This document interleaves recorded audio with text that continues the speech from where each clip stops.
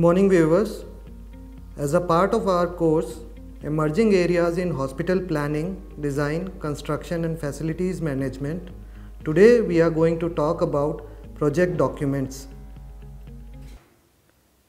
Here we are going to talk about technical drawings, project reports, architect's design brief, project manuals and facilities management manuals. So starting with technical drawings. What are technical drawings? Who prepare them and what they include? How to read technical drawing? So technical drawings has a very broad meaning referring to any drawing that conveys the way that sometime functions, something function or how it is constructed. Technical drawings are intended to convey one specific meaning as opposed to artistic drawings which are expressive and may be interpreted in many ways. So the there are various types of technical drawings.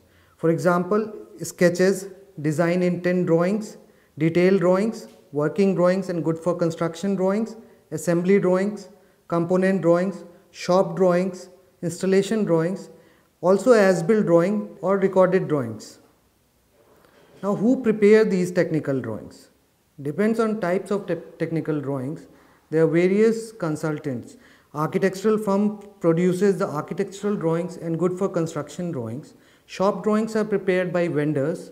Consultants involved prepare their respective set of drawings.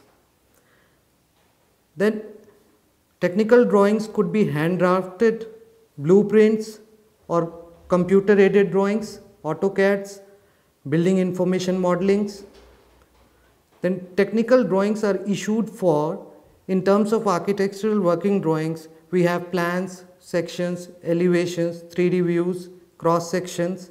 In terms of services, we have structural drawings, electrical drawings, plumbing drawings, HVAC, other as detailed drawing component and also we have shop drawings which are provided by vendors.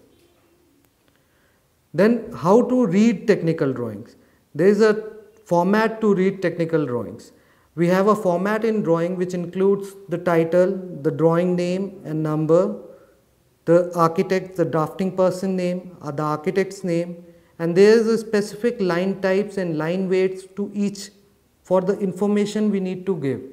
Then we have dimensions and labels, symbols and tags, specifications and other informations, then orientation of drawing, key plan, location, scale of drawing, legends and many other information provided in the technical drawing.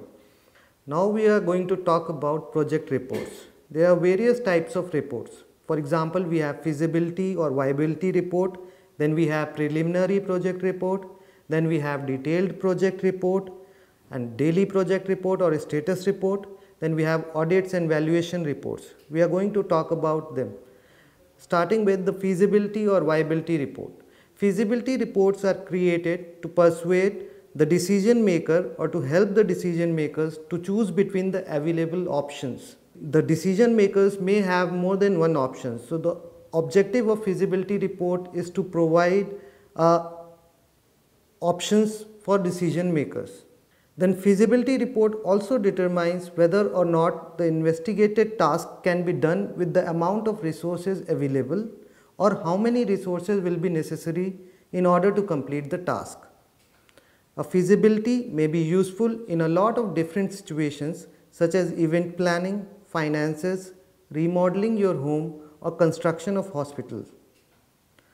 Then preliminary project report or project preliminary report PPR is a formal document that describes specific activities, events, occurrences or subjects of a project to explain the progress of project up to certain point in time but not later than the completion time. This document is presented and communicated at project meetings to explain what goals, deliverables and results are produced and what activities are still in progress.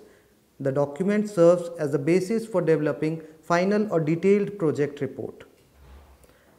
Then preliminary project reports we need to identify problem, the clear description of problem or need of the project aims to handle, then proposed solution, a brief description of how to address the problem, then the methodology, the work effort, analysis summary of work relevant to the project, then status, the current state of project work including activities completed and unfinished, evaluation and analysis and assessment of project work. Then we have scheduling, a timeline with a specific milestone and events related to project work. Then we are going to talk about detailed project report. So, detailed project report is in-depth analysis of project after preparation of feasibility report. It includes reports of from specialists, the different consultants like also from different fields like market research, engineering and finance and all other stakes within it. Then the objectives of DPR, the report should be with sufficient detail to indicate the possible fate of the project when implemented. The report should meet the question raised during the project appraisal, the various types of analysis, be it financial, economic, technical, social or anything else should also be taken care in the DPR. Then the aspects covered in DPR are the technological and design aspects, the economic and financial aspects, then social and political aspects, also the environmental aspects. Then we come to daily progress report or status report. The daily progress report is to check the current status of the project. List of ongoing activities, resources mobilized, labors occupied, challenges incurred and other details for current executions. Then project status report should also cover what, current, what is the current task, what percentage of task is completed, what challenges are expected to be faced, the scheduled task completion deadline and also to state whether the projected plan is going as per the timeline or not. Then we have audits and valuation report. A project can be audited for various aspects and the reports produced for those audits or valuation reports. Example of project audits may include financial audits, energy efficiency audit, water efficiency audit, compliance audit, operational audits and so on. Now we are going to talk about very important factor the project brief. The project brief will include the assessment, the need assessment of the project. Then in terms of hospital projects, it will include medical brief, architectural brief, equipment brief. So combining all these will prepare a document called project brief. Now going to talk further in detail, the need assessment will have the situational analysis, the geographical analysis, the population statistics, the socio-economic profile of the region, the health profile of the region and scope of service of the project. This will come under the need assessment. Then we will have medical brief. It will include the scope and level of service, the justification of the scale of the project, then policies we need to follow. Then it will outline the policies of framework and then operation and management strategies. Then we have architectural brief.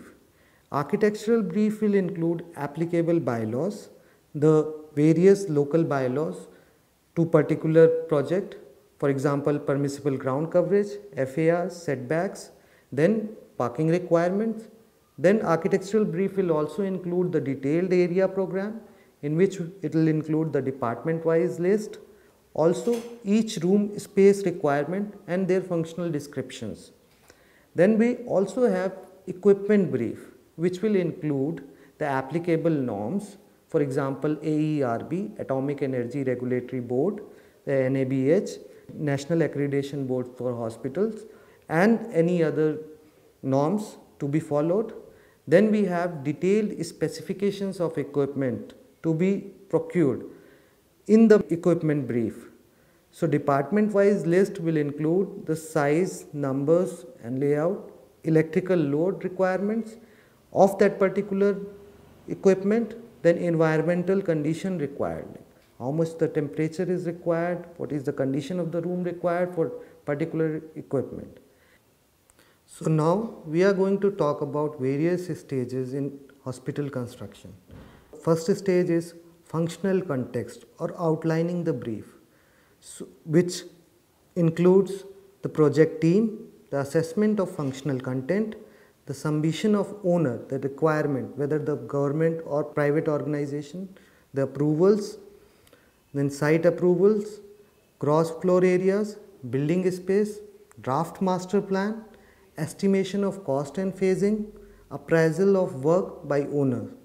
Then we have next stage as operational policies or development plan in which it will include operational policies to be followed, departmental and interrelated activities, departmental and hospital policies, development control plan, budget cost, continuous informal discussion with owner. Then we have a stage schedule of accommodation, sketches, drawings and final cost estimate. It will include the schedule of accommodation, the sketch drawings, the equipment schedules, component estimates, cost revenue and staffing estimates, then final cost approval. Then we have the detailed design working drawings stage. It will include the working drawings, engineering details, bill of quantities and then calling the tenders. After which we will have contract and construction stage in which it will be assessment of tenders then award of contracts, then construction and engineering commissioning. After which we have commissioning, which will include staff assembly and training, equipments and supply assembly, then testing of installations. After which we have shakedown period, in which we majorly do post occupancy evaluation. Now we are going to talk about project manual. So what is project manual? Project manual is an assemble, assembled document related to the construction work on a project. Project manual will also include the bidding requirements, the sample documents, the condition of contracts and specifications. So we are now also going to talk about facilities management manual. So what is facilities management manual? Facility Management Manual is a multidisciplinary function required deep knowledge of entire business and physical planning cycle, including the building in buildings, infrastructure and people. So this manual will include the technology systems, the operation manuals, disaster recovery planning, zoning compliances, furnishings, recycling programs, ground maintenance and the entire detail of operation and maintenance. So with this we conclude this module with the introduction to facilities construction manuals also which will be talked in detail in our various other modules. Thank you. Jai Hind.